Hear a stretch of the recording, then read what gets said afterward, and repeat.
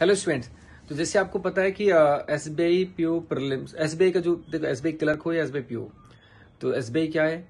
आपका जो जो बम फोड़ता है वो दस बारह दिन पहले फोड़ता है। तो uh, जो ट्रेंड है उसका है ना? तो उस ट्रेंड को समझते हुए S B I PO prelims का जो रिज़ल्ट है वो अब कहते ना कि काउंटिंग शुरू हो गई। मतलब उसका जो रिज़ल्ट है पंद्रह से बीस के बीच में कभी भी आपके सामने आ सकता है।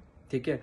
तो जिन्होंने मेंस की तैयारी नहीं स्टार्ट की है, वो मेंस की तैयारी भैया स्टार्ट कर दो, क्योंकि देखो, मेंस पढ़ना चाहिए। आपको स्टार्ट कर देना चाहिए मेंस की तैयारी, क्योंकि एक प्रेशर होता है ना, जैसे सपोज़ करो बीस को रिज़ल्ट आया, है ना, बीस को रिज़ल्ट आया कि आपके पास दस बारह दिन बचते हैं फिर, है ना, और फ़र्स्ट वीक ऑफ़ जनवरी में टेंटेटिव है तो होपफुली एग्ज़ाम होगा, ठीक है तो आप मतलब आप प्रिपेयर रहें, आप प्रिपेयर रहें। तो आपका जो रिज़ल्ट है, पंद्रह से बीस के बीच में कभी भी आ सकता है मेंस का। तो इसलिए आप मेंस की तैयारी करना स्टार्ट करें। और फिर आगे I B P S P O mains भी है क्लर्क मेंस भी है। माना कि आप अभी क्लर्क पे फोकस कर रहे हैं, अभी S B P O prelims का sorry I B P S P O prelims का एग्ज़ाम भी है। तो प्रिलिम्स का एग्ज़ाम है, वो पहले दे लीजिए। लेकिन जो क्लर्क प्रिलिम्स है, वो भी दीजिए। साथ साथ मेन्स की भी कहीं ना कहीं आप, चाहे ऑल्टरनेट ड्रेस पे पढ़ना स्टार्ट करें, वो भी पढ़ना स्टार्ट करें। जिससे कि एक साथ आप प्रेशर फील ना करें और धीरे धीरे चीज़ों को कवर कर सकें।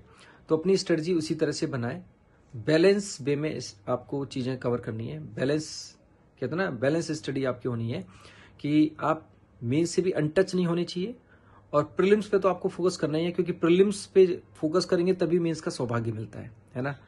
तो एस बी प्रिलिम्स का रिज़ल्ट पंद्रह से बीस के बीच में कभी भी आपके सामने आ सकता है है ना?